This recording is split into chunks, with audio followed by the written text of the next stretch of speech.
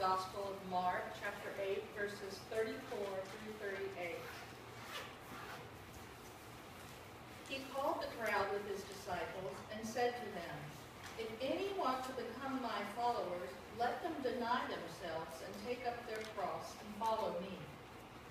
For those who want to save their life will lose it, and those who lose their life for my sake and for the sake of the gospel will save it. For what will it profit them to gain the whole world and forfeit their life? Indeed, what can they give in return for their life?